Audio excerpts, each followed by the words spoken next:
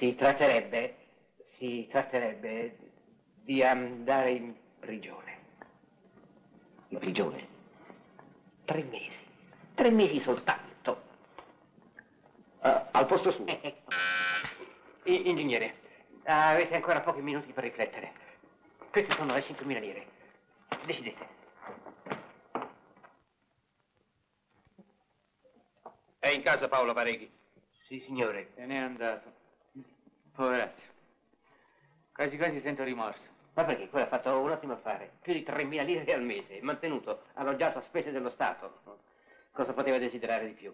Ma di quello non si sarà preso le 5.000 lire e poi appena fuori di qui dice che. No, no, no, non c'è pericolo. Quello va in galera, è un uomo onesto. Oh, piuttosto, adesso bisogna pensare a voi, non c'è tempo da perdere. Anche voi dovete sparire, cessare di esistere. Sentite, avvocato, parlate al direttore, cercate... Sì, insomma, facciamo in modo che questo poveraccio, vedete voi se è possibile di fargli avere qualche cosa. I miei rispetti, signor Barone.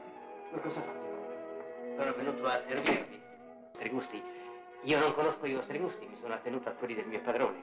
Ecco qua. Risotto alla rossini, pollo alla diavola, medaglioni di vitello con tartufo, formaggio, frutta e. Polenta, sempre polenta, qui non si fa che mangiare polenta. La polenta è salute, giovanotto. Cibo sano, sostanzioso, integrale. Hai mai sentito nominare un certo ingegnere Pietro Kovac? Pietro Kovac. Sì, un ingegnere minerario che ha scritto un libro interessantissimo, Il milione sottoterra. No, non gli badare Paolo, è una mania dello zio. Ma che mania, lasciami dire. È un uomo in gamba Pietro Kovac, conosce le viscere della terra come fossero le sue. Pensate l'ironia, la beffa, il dispetto del destino. Per tanti anni ho aspettato la fortuna, adesso arriva. C'è della gente che mi vuole, c'è della gente che mi cerca. E io niente, io non ci sono, non ci posso essere perché sono qui a far la parte di un altro. Ma dov'è? Dov'è quell'anima dannata del vostro padrone? Ve l'ho detto? È in campagna. E che fa? Niente, aspetta. Anzi, guardate, gli ho scritto una lettera perché non si muova. Ho inventato una scusa perché si trattenga qualche giorno di più. È possibile che un povero diavolo che sta dentro da tre mesi debba fare ancora 15 giorni per cattiva condotta? 15 giorni soli? Ma per cattiva condotta si può raddoppiare e triplicare la pena. Questi sono stati barbari, inumani. Ah, no, mio caro, la prigione ha una funzione educativa. Più ci si sta, e meglio è. E ditemi ancora, non ha mica qualche relazione, qualche storia di donne? Chi? Lui? Per carità, signorina. Giurate?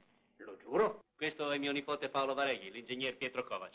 Kovac. Kovac. Ah, sono molto lieto di conoscerlo. Anch'io. Però che mai e poi mai Paolo sposerà mia figlia. Per il solo fatto che sono cugini. Anche questa è una ragione.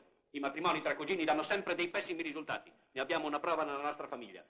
Basta guardare tuo marito. Abbiamo esplorato tutta la zona, sai che si sente l'odore del petrolio? Senti, non mi seccare con questo maledetto petrolio, eh?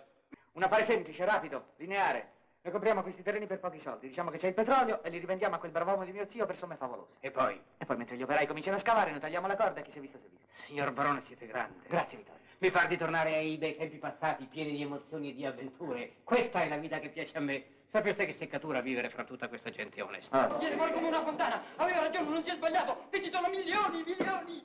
Oddio! E noi che l'abbiamo preso per un imbroglione, oh poveretto, bisogna telefonare subito e ritirarne la denuncia. Chi hai mandato in prigione, papà? Lui, l'ingegner Kovac, credevamo fosse un imbroglione. L'ingegner Kovac.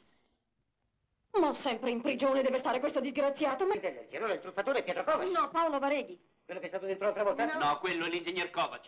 Allora Paolo Vareghi è innocente. Ma no, è stato lui che ha fatto l'imbroglio. Allora quello che abbiamo messo dentro è Paolo Vareghi. No, quello è l'ingegner Pietro Kovac. Il colpevole? No, l'innocente. Un momento, un momento, la chiarezza, la chiarezza. Io vengo dalla gavetta, ma qui c'è da impazzire. Ma direttore, sei tanto Ma semplice. sarà tanto semplice per voi, signorina, scusate, ma io non ci capisco un accidente.